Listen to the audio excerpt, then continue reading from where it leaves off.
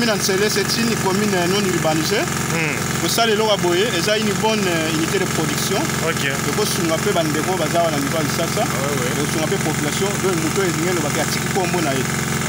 bana biso baza na poto ndenge nini mboka na biso ezodevelope tozo regrete bato na biso ya congo awa na poto baza ebele mais sikoyo bato mosusu bakomini mosusu mai eza mpasi bazolinga kobongisa mai te bazosomba mapango bazolinga kotonga te batiki mapango kaka bongo tozo regrete makasi oyo hmm. ezali longwa kuna ti koto ezalama eza 6 hectare ona 6 hectare ezomonana kaka awa 4 hectare plus moko eza likolo boye ki fait 5 hectare moko ezomonana te bon na 4 hectare oyo ezalaki awa 2 hectare euh, chef coutumier atekeli Eh, mama moko balobi aza mama ministre toyebi te soki eza ya solo botala nkombo moliki soki mama yango aza ministre apesi ye akati 2 hectare mobimba apesi mama ministre mama justine aporte plainte na justice justice alobi non mama justine oza na raison bango bakosala lisusu eloko moko place wana te bato ya parke bayaki batie bapano ba oyo mpo baarrete travaux mais toza surpris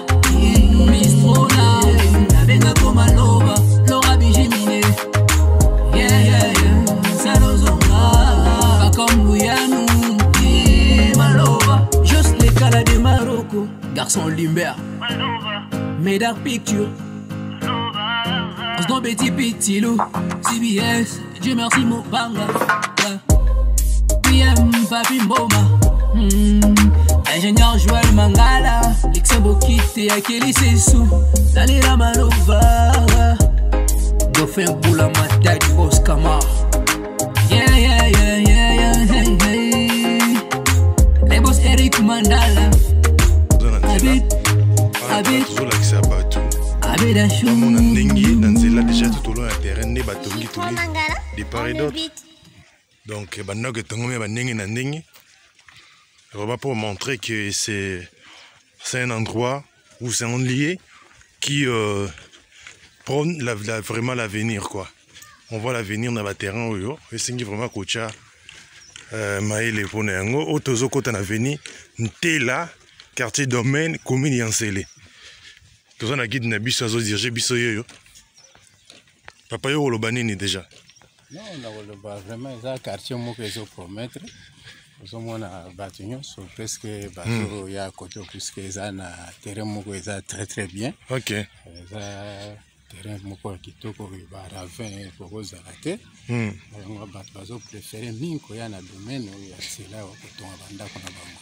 Voilà, tozo continuer vraiment. Bozo mwana bilili ndenge hmm. ezali. Tala to ba ba ba maçon na ba menuisier bango bazana kana bi. Misala bazo sala ba. OK. Banda quoi. Tozo continuer, to continuer. Vraiment beau à la connecter. Tozo la tenir c'est le lelo ndenge ezalaka. Na quartier oyo to représenter bino eza cimetière ya Netropole eza pe pembeni.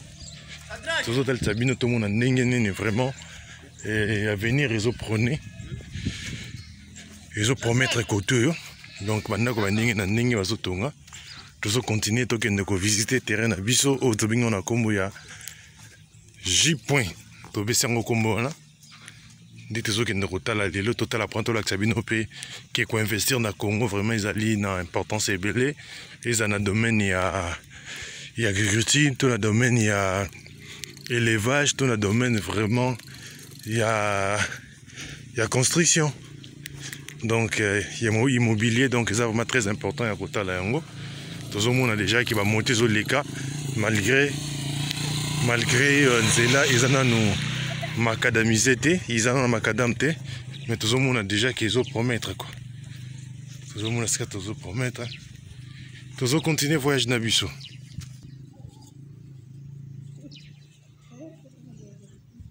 tozo continuer vraiment voyage na biso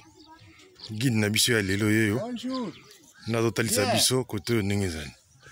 voilà à suivre bozala connecté misala nini ezali vraiment possible bato bazosalaka kote oyo vraiment bon kote oyo omona bajeune bajeune mama bajeune garçon eh, mingi mingi kotoka bamai kotondisa batono mpo na bato bazoya kosala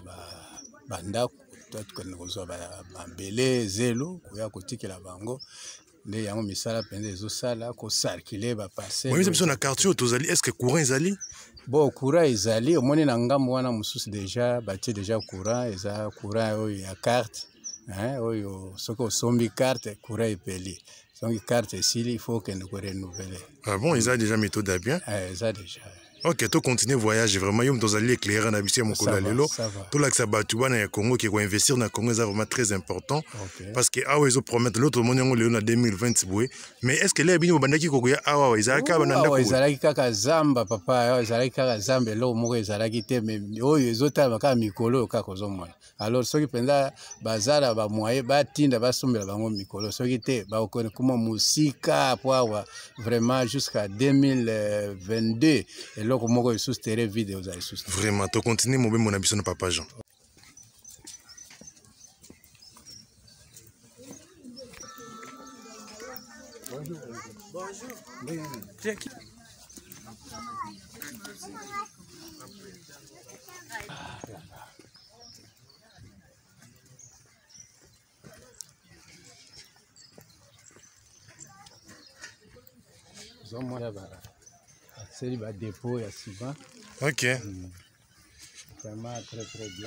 na basali deja badepot ya sima ya olobi donc okoki kosomba sima kaka awa olio kende kosomba ake tomoni mpe bapharmacie eza deja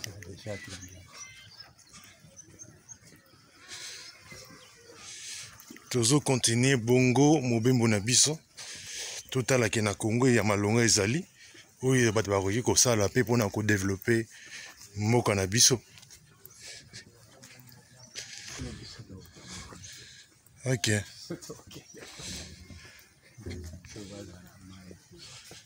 Ok. Ok, bon, papa Jean, c'est quoi la même chose que nous puis déjà, il s'est ça tozokende esika moko mpe kaka mwana poto asomba atie mai mpo bata quartier koto bazanga mai te bazwa toujours mai ah vraiment donc euh... bino bazolanda biso botala ke totala esika oyo oyo ndeko moko awuta mpe poto nde babengaka bango ya diaspora atiali mai awa tokende kotala yango après tokokontinue mobembo na biso bozala connecte euh, papa papa jean yebisa biso awa tokomi wapi bon oyo lopango nayebisaki ya mwana poto asali zela omona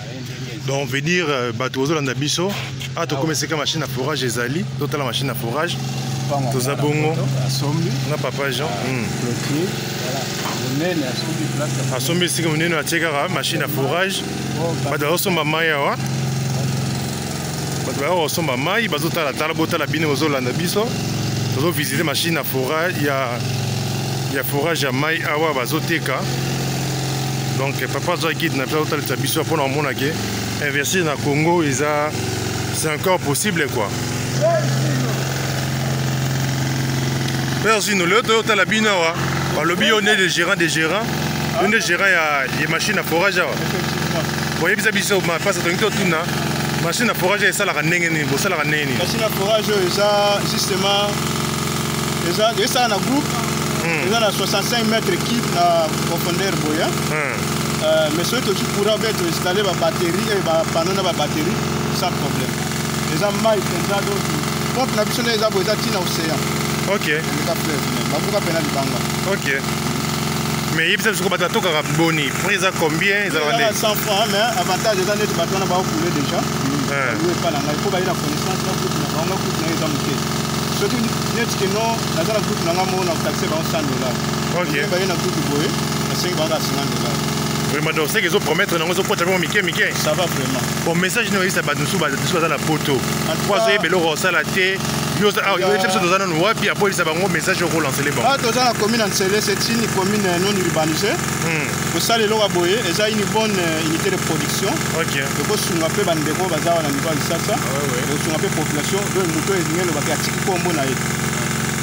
vraiment ndeko atiki kombo te koyeba kombo na ye te oyo mama marie hélène aza parisienne mobali na ye papa jacques mbaya mama marie mama mama marie hélène mama marie hélène esika ozali na mboka ya paris topesi yo mbote parce que misala osali ezomonana vraiment ndenge population baza ezo aider population tozomona bango wana bazotoka bamai mai ya komela mbala moko ezali eza eau potable bazomela mama mama marie mame marie hélène esika ozali na paris vraiment mbote ebele lopango mpe azoteka yango oh. donc lopango nde eza nango na azoteka yango eza nango na vente donc mona poto yo ozali soki meme ata mwana poto te meme ata bino awa bozali awa oza na mbongo na lopango bazoteka mpe yango oyo oyo sikoyo oteka na na na na forage na ye nyonso to ndeni ateka na forage ateka na forage euh, forage oyo afora yango 8000 dollars ok 8000 dollars forage wana ekutaki 8000 dollars vraiment hmm.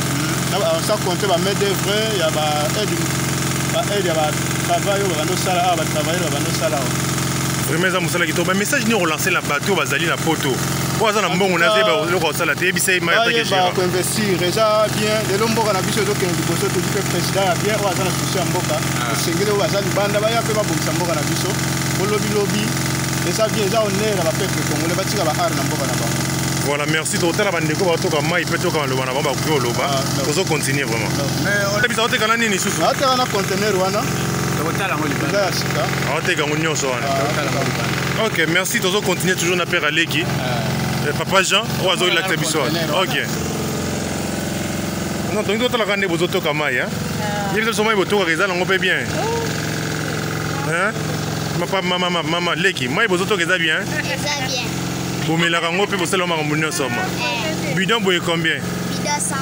bidon 100 franc eh. ah, yo oza na classe nini oza na 3e mama yo olobi nini mpo na mosala oyo batie bino eau potable na kati ya komi na nzela o yebisa biso ah. oh, ah, biso mai eza bien tokelelaka mai nani asali mosala oyo eza mama mondele mama mondele eh, mama marie hélène hmm, mama marie hélène ok tanga mai kuna donc mai eza bien esali bino bien eh, mais message nini okoloba na bato mosusu bazali na poto aza na mbongo aza beloko kosala te ou carrément aza beloko investir te par rapport ya oyo omoni déjà ya kosalela bino forage oyo en tout cas biso tozo regrette bato na biso ya congo awa na poto baza ebele mais sikoyo bato mosusu bakomini mosusu mai eza mpasi bazolinga kobongisa mai te bazosomba mapango bazolinga kotonga te batiki mapango kaka bongo tozo regrette makasi okay. bon message nini olanse mpe na bakonzi ya mboka basalela biso nini biso toza na mposa tozonyokoma makasi misala eza te ata bakuluna oyo bazomemaki oyo bakuluna bazoyiba oyo miyibi donc misala eza te ape ah, kuluna ezali baza kasi baza ebele bazokotela biso na bandako koyiba moye te tono elala te libanda tono soki elali libanda bamemi totyaka mama ya mbula te libanda oh hmm. vraiment merci tozali na bino awa lelo hmm. totala mosala ezolekama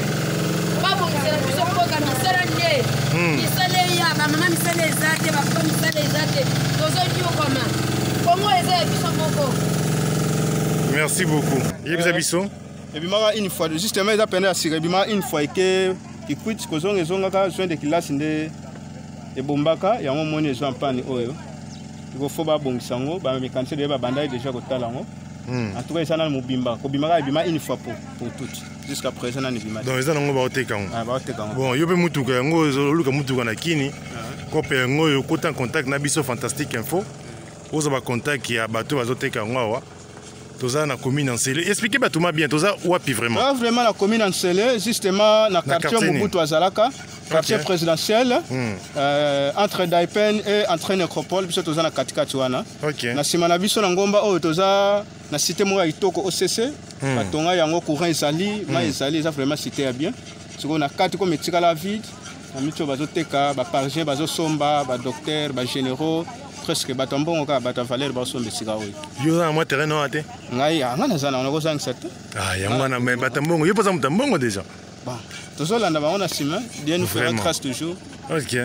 vraiment mais Eh, balobi bateke baza misala mabe yo mpoza moteke te ngai naa moteke te naza vraiment moto ya bandundu 100 pourcent parce que bateke eza so ateke atekeli x lobi atekeli ysuivi eza te yebisa bato po yebisa messagentango osombi eloko na yo fo suivi ezala dede fo sala effort otya mise en valeur oluki eloko moko boye otye na esika wana otye mpe motu na yo hmm. afandi na ye ntango moteke aye akuti eloko wana moto azali place eza propre aosala nini akokoteka te mais ntango yo osombi eloko osundoli yango ndenge wana des années des années meme na leta contraire ezali ntango osombi espace ya leta fosala nini fo obongisa otonga yango soki otiki ndenge wana leta mpe akoki kokipa yango apart moteke e moment donné baza na raison e moment donné bon malgré mabe na bango mais heure moko réseau ezali bato moto asombi eloko asundola soki osenga ndeni fo ateka yango ok merci tozo continue totala mais awa ah, baactivité nini ezali apa bato bazotonga bilanga basalaka awa baelevage ezali biloni ezali miniti oyo nauti komona toza na isini moko boye ya colonel ya demiap hmm. usine batie bajus baglace na mabende bazosala hmm. biso mpe awa malgré baye koteka me moto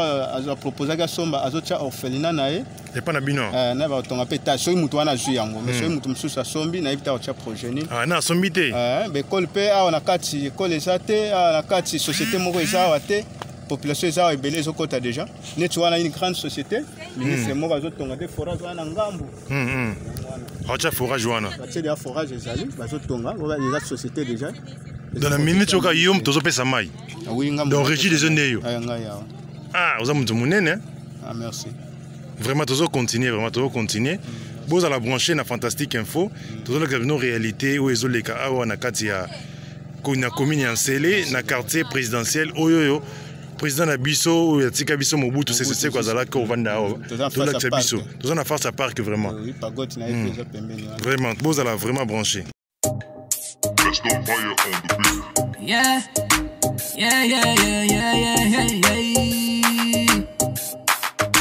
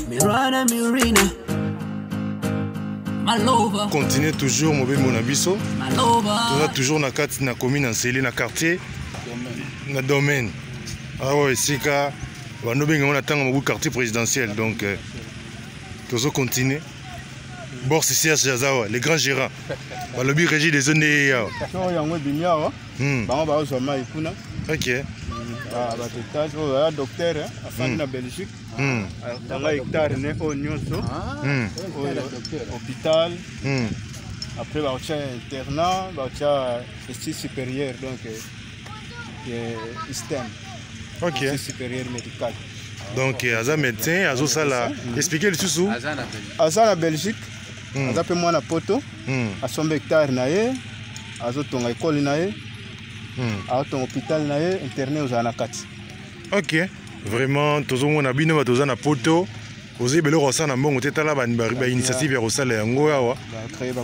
acreye babiloko oyo oyo ekosunga population ezali ya vraiment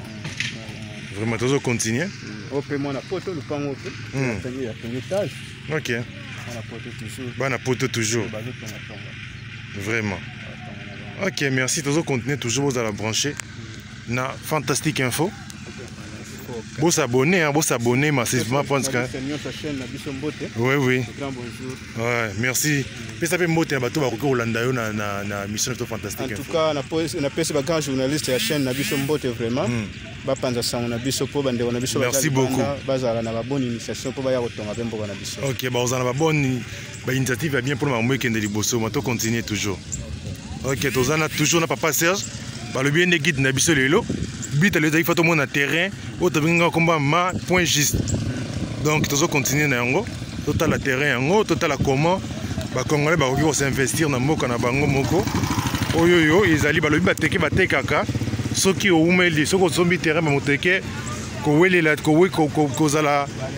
na retard te mpasa koteka ngai nazoyeba na bino nazalaki naza victime ya baterrain bateki wana ma donc euh, bana poto bateki baza mabe toyebi mais soki osombi eloko luka moyen ya kopesa yango valeur luka moyen otya otya otya eloko na kati parce que soki te bakotekela yango tozo continuer tozo continuer bozala bobo bozala bosabone massivement na chaîne na biso parce que bozala bozala desite merci mwa nzela ya lewa na kaka mwa mopanzi wana tozo continue vraiment bozomona nyonso bapembepembe wana ezali cimetière ezali ba batumbu ya bato tozomata malembe malembe tokóma wana tokómi na institut euh, supérieur de développement durable oyo babengi icdd en sigle nsele oyo epesaka ba cours ya agro vétérinaire environnement na communication toza toujours koleka na biso tozo koleka po tokóma na terrain na biso toyeli awa tolakisa bino tozotika nétropole totiki mpe icdd tozo continue vraiment bozala branche voyage na biso tolobaki tokóma na terrain tobengaki nkombo mj tozomata ngomba na minute oyo ngomba molai vraiment mpona tokoma na terrain na nsima na biso awa cimetière ya netropole yango oyo cimetière ya netropole yango na nsima da tozomata sikoyo ngomba mpo tokoma na terrain na biso tobengi komona mj totala tolakisa bino bapotentialité nini oyo ezali na congo oyo eza na mboka na biso awa vraiment tozo continuer bozala toujours branché na fantastique info bosabonne massivement mpe bobosana te koklike na croche ya notification ya toute mpo na bavideo nyonso na biso eyelaka bino merci tozomona paysage ezokoma lisusu kitoko oyo kuna bozomona na mosika eza fleuve congo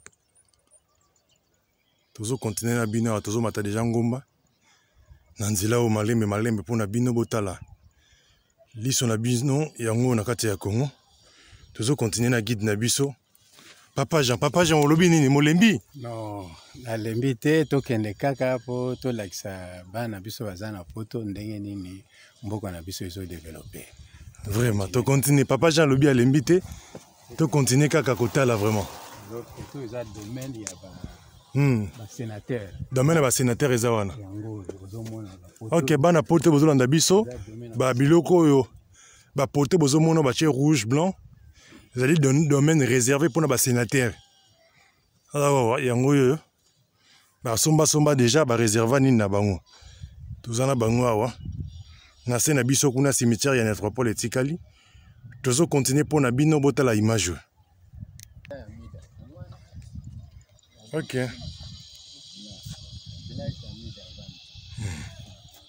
Donc ils ont réserve vraiment ba konze belé belé ba somba somba koto vraiment. Donc oyo sénateur kuna eza fati hmm. wana fandi wana bon wana eza entrée ya kingakati ekenda ti boye wana kote kamere donc kuna entrée ya kingakati hmm. esika mm. shinarango azalaka ok kingakati akita ya boye wana rouge wana kuna place ya vital kamere mm. heureusement aza na prison mais eza villa asali mpo na mida eza wana ok tozo continue papa voilà tozomona makambo ezoleka na mboka na biso domaine madame justine mukweke tomoni yango tokomi awa ezosala mpasi mboka na biso eza na besoin ya bato batonga me bato mosusu bakosala ba arte ya boye eza makambo oyoyo président na biso azotelemelama état de droit elingi makambo ya boye te donc tokosenga na bakonzi ya leta basan charge na bato oyoyo bazosala ba arte ya boye otekeli motu après lobi oye lisusu kolongola babiloko boye tolingi makambo wana te na mboko vraiment tolingi yango te yo ozolanda video partage yango parce que ekoma ti mpe mokonzi ya mboka ya komona ba arte ya kanda ya boye oyo bachef coutumier azosala atekeli x atekeli y na lokoso ya mbongo totala domaine oyo moto apesa mbongo nyonso ndeko na biso mama na biso oyo apesa mbongo nyonso mozomona bato nde bazosala biloko ya boye donc eza makambo ya mpasi oyo yo tolingi komona yango susu te na congo ya lelo congo tonyokama après 18 ans tolingi makambo ya boye te vraiment botala toza juste na nsima kaka ya ya cimetière netropole donc so oza na netropole ozomona li oza na na terrain na biso ozomona clair clair clair kuna mai kuna fleuve congo nsele yango wana ndako ya faci beton esika azali yango wana tozo continue tolakisa bino makambo ezali eloko deja bareserva batonga na ndako boye soki soit disant chef coutumier azosala baarte ya boye vraimen eza mpasi mingi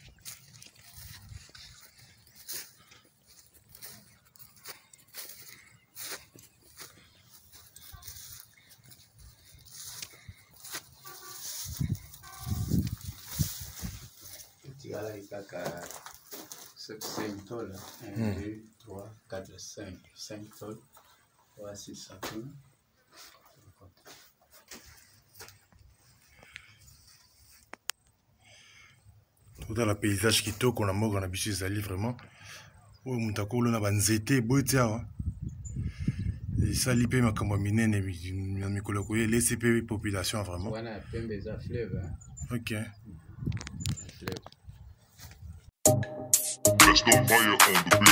Yeah, yeah, yeah, yeah, yeah. botala makambo ezoleka touti omona kuna concession ya madame justine mukwete me lelo tomoni awa moto aza na mikanda na ye komi bakomi kokoma ndambo concession occupé par madame moliki makambo oyo président de la république faci beton alingi yango te donc eh, biloko fo elongwa na mikolo ezoya plus rapidement parce que eza baarte ya mabe ya moyibi oyo ba chef coutumier bazosala esika oyo ma totelemeli yango ya 100 toyebi te na mboka oyo soki bato barespectaka mibeko te domaine madame justine mukwe te suspension des travaux RI numéro 1597 RMP 7183 IP Pro 25 hmm.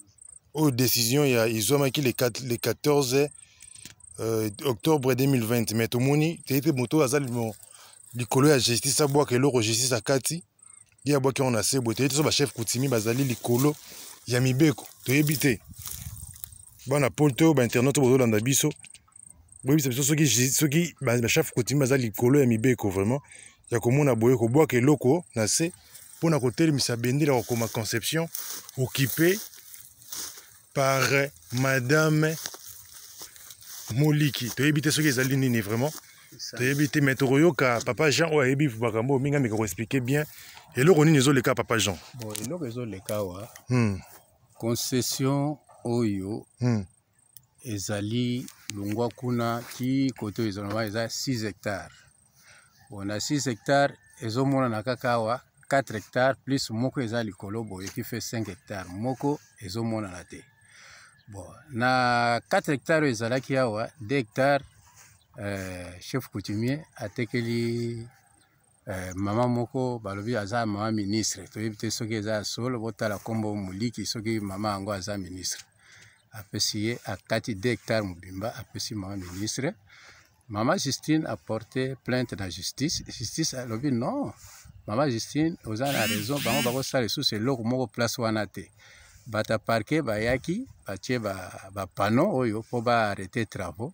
mais toza surpris ba chef coutumier yango baye balongoli ba, ba, ba panneau ya justice atiaki babwaki yango awa bazobenga ye ase presente na parke chef coutumier aboyi alungue mpe na mbuko mbenza esika azalaka ake na mbankana ake kovanda na ye kuna bon vraiment tozo regrete yango tozosenga mpenza na bakonzi ya mboka bolobi ke Eh, mboka na biso eh, etat de droit ekoti vraiment bolandela mama augustine makambo na kati ya droit na biso merci beaucoup papa jean donc euh, tolandi biso nyonso papa jean ndenge aexplike na, na lolenge ezwami ya komona concession oyo oyo ekoma kokomama concession kibe par madame moliki toyebi te soki eza na ministre aza likolo ya mibeko soki aza ministre nini toyebi mpe eteyema donc affaire oyo ezali likambo ya kopartage yango bato bayeba vraiment